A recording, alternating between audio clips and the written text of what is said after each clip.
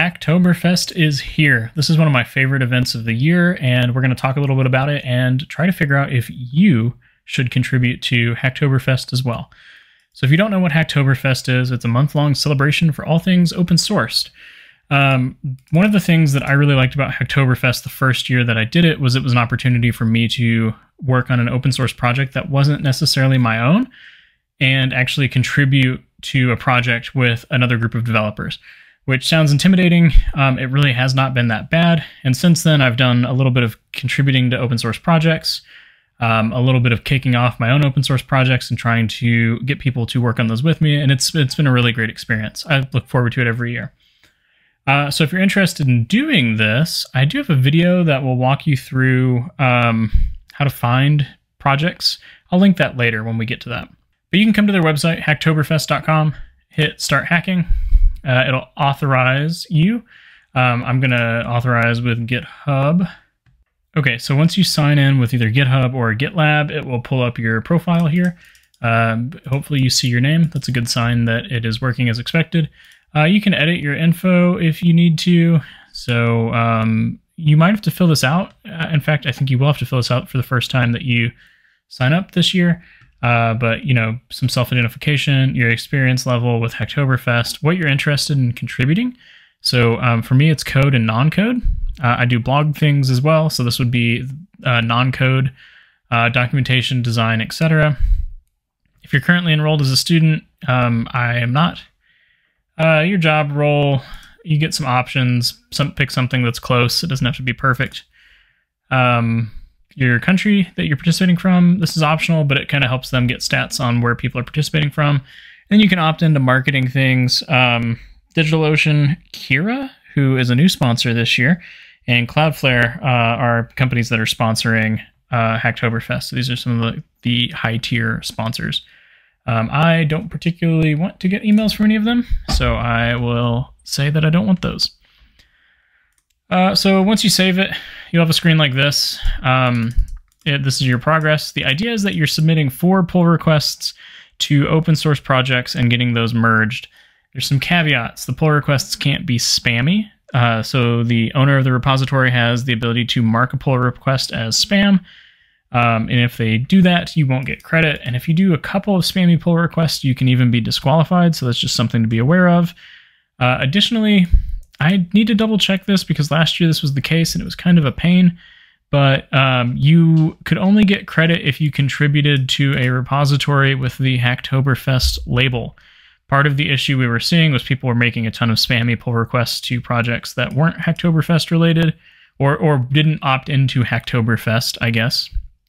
And uh, it was causing a lot of friction for people, open source maintainers specifically, who don't have a ton of time uh, because most of them are employed full time as well, and they're maintaining things in their spare time. So if you do participate, you get these HoloPin badges. Um, these are interesting. They're very much not NFTs, uh, but in an interesting way, they're kind of similar to what a lot of NFTs were. Uh, so they're not on, on a blockchain or anything like that. No, no worries but it, it is essentially just a digital pin, like PIN, uh, like a collector's pin. Um, that you get for Hacktoberfest and participating. Uh, one of the neat things about it is your pin uh, evolves based on your contributions. So the more you contribute, the more that your pin will change, which is kind of cool. Um, and this is sponsored by you know Holopin. They they are a part of this uh, program as well. So if you do want these things, you'll have to create a Holopin account. Um, it's neat. I have an account from two years ago, I think, and last year as well, and this year. Uh, it's all one in the same account, but um, they're they're nice. They don't spam you. There's there's nothing crazy going on like that. So uh, it's a nice little added benefit. You can use this to keep track of your merge and pull requests. So once you start making pull requests, they will uh, show up here, and then they will have a status next to them. And basically, once they get merged in or approved, there's an approval flag that can be added, even if they're not merged uh, a countdown will show up on the right. And then um, that basically just gives them a certain amount of time to change their mind. Uh, or um, it also gives you the ability to create that pull request. And then if the maintainer is not very active, it's, it's not necessarily hurting you because it's essentially a, a countdown for that to either be merged in or marked as successful. Uh, yeah, a little blurb. They update every 15 minutes if you're loading the page often, or once every six hours in the background. Uh, if you want to learn more about like privacy and terms, that stuff's down here. Um, the communities for Hacktoberfest aren't necessarily big in, in my area, at least.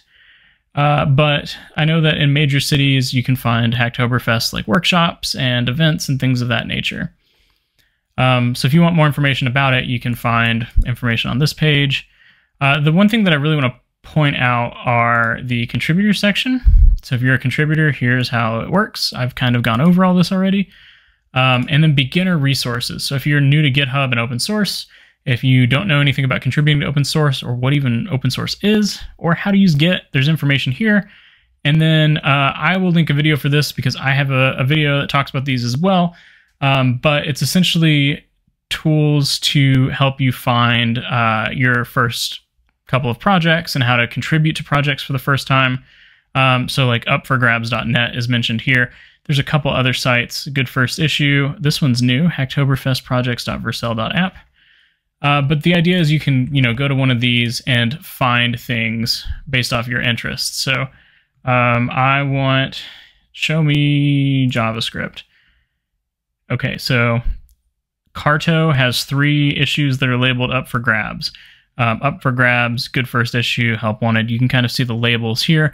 But these are generally issues that are pretty nice for new uh, contributors to the project. Not necessarily new developers. Some of them could be kind of complicated.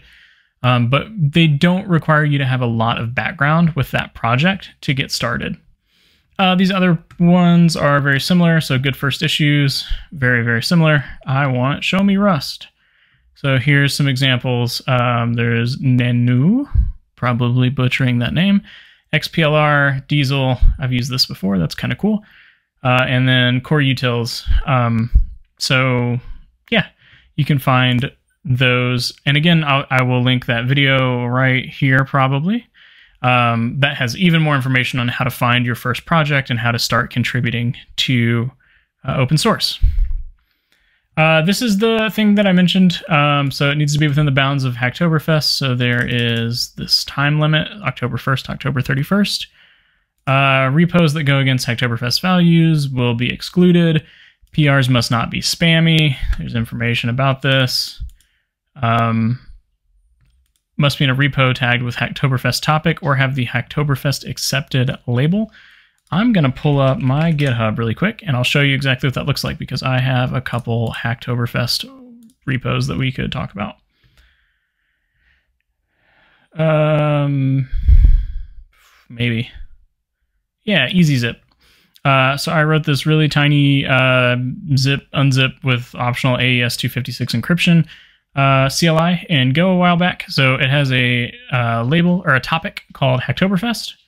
Um, but let's say you are working on something and the topic doesn't exist. Uh, the owner of that repo can create a label called Hacktoberfest. Uh, I don't think I have one because I have the topic. Uh, but they can create a label and then assign it to your pull request, and you can still get credit for it on Hacktoberfest even if uh, the topic does not exist. Oh, yeah, there's the label Hacktoberfest accepted.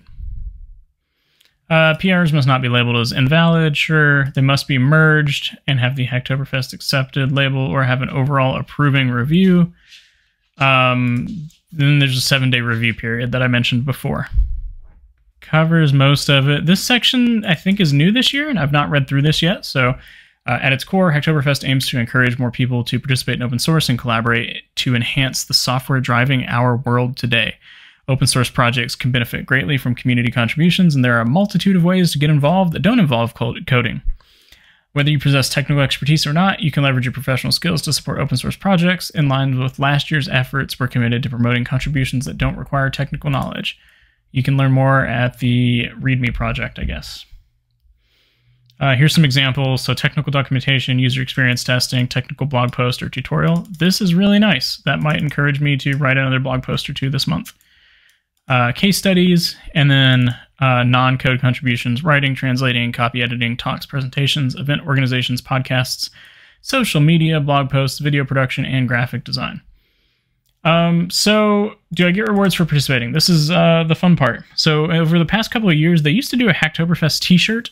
Uh, last year, they stopped, um, and I think it was just too much uh, logistically and environmentally, and um, yeah, it, it, was it was interesting. I love the shirts. I thought they were really cool. I always looked forward to getting those.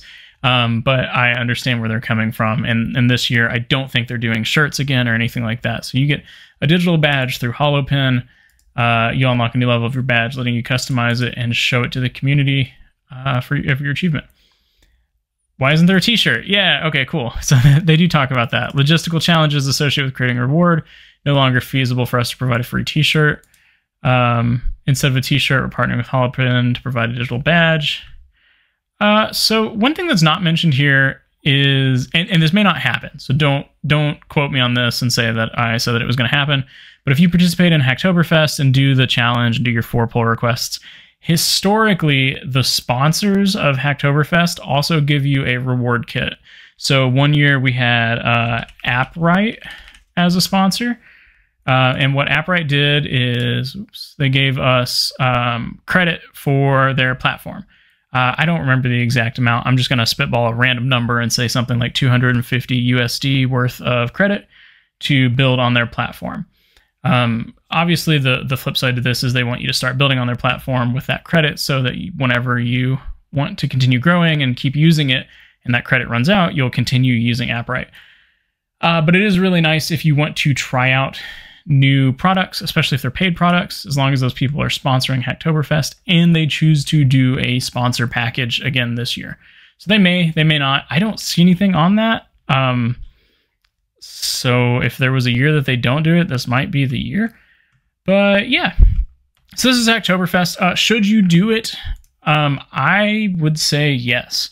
Uh, I want to caveat this by saying I know how hard it can be, especially if you're a new dev to find something to work on that's open source. Um, and I know how hard it can be to find things that uh, you want to work on, even if you're not a new dev. Um, but the idea here is it's four pull requests. That's really not that many. And part of the spirit of Hacktoberfest is that the maintainers, people who maintain those repositories, are uh, intentionally setting themselves up to help onboard new people to their project. So, what they're getting out of this, hopefully, is contributions to their code base, but ideally they're helping set up people for long-term contributions.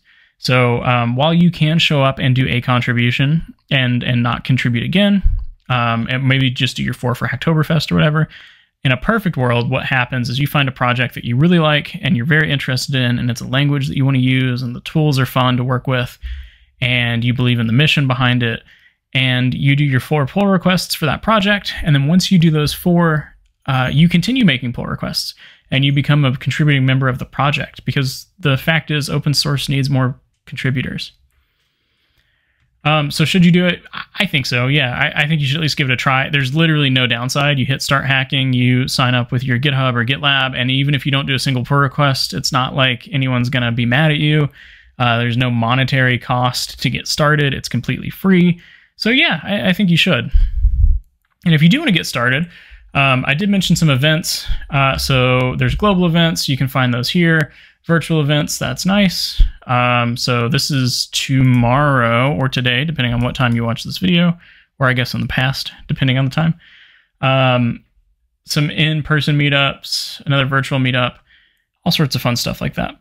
Anything else? Uh, there's a donate tab. I assume. Oh, this is really nice. I don't think they had this last year. Uh, so essentially, these are open source projects that are in need of financial support uh, to develop new features, cover expenses, and continue their regular activities. Um, so they're kind of helping surface some of that as well, which is really nice. Uh, and then there's a Discord for Hacktoberfest that you can join. I don't think I've joined it, but I'm not going to pull up Discord right now. Um, if you're unfamiliar with Discord, it's just a, a community platform. Uh, so you can message and chat with other people both via voice and uh, video and um, text.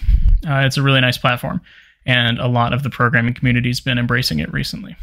Okay, uh, so I think that just about covers it. So, should you do Hacktoberfest this year? Uh, my answer is yes. You should probably give it a shot.